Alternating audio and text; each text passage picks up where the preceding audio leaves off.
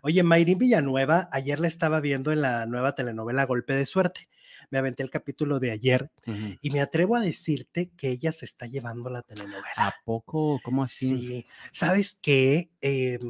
Mayrín Villanueva es también uno de esos ejemplos, que no hay tantos, la verdad, de actores de telenovela que han ido de más, de menos a más. O sea, que empezaron como actores mm, cumplidores y con el paso del tiempo se van convirtiendo en estos actores con fuerza, ganándose un lugar, pero sobre todo ganándose la posibilidad de que cuando estén en los 60, 70 sean considerados primeros actores.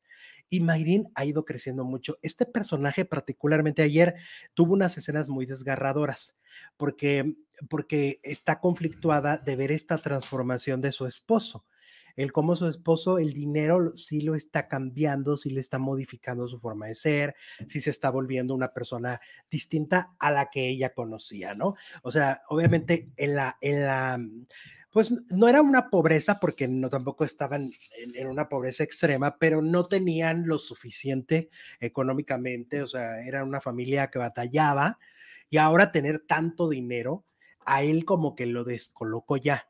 O sea, él ya, ya anda ya este, con las cabras pa'l monte. Y entonces ella es lo que empieza a reclamar, es, es que ya no estás siendo el mismo, me estás engañando, porque me dijiste que este viaje era porque nunca habíamos tenido luna de miel, y porque, que- pero no, tu intención era otra, tu intención era ir a convencer a un futbolista para que trabaje contigo. So, esa- esas cosas le empezó a reclamar y, y estas escenas tan desgarradoras de ella, que además las hace en una locación de Argentina, no las hace en un este, mm, ¿cómo se llama? Un- foro. En un, foro, lo cual es todavía más este compromiso y más fuerte.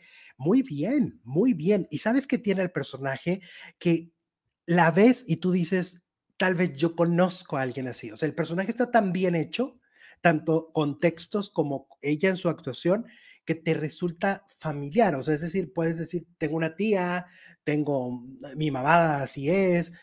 Eso es lo padre del personaje. Y entonces eso lo vuelve entrañable. Y se está robando la novela, dices, Yo creo que sí. Las escenas a todos los demás. Yo creo que sí. Yo creo que es ella. Oye, qué mal actor, por cierto, es Horacio Pancheri. Porque imita a una, o sea, un argentino imitando a un argentino y lo hace mal. Pues es que no, no necesitaría ni siquiera actuar, simplemente ser él. Pues lo hace muy mal. O sea, el personaje, y no lo digo por lo otro, ¿eh? De verdad, el personaje está muy mal. No se le da la comedia. Es que el, el personaje como que tendría que ser como, como sarcástico, como cómico, como, y no lo, no lo da, no lo da. Entonces, en las pocas escenas que ha aparecido,